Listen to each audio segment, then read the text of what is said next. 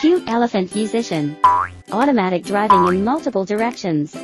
Turning around automatically when encountering obstacles. Put the ball on the elephant's trunk, and it will automatically levitate. Even if it collides, the ball will not fall.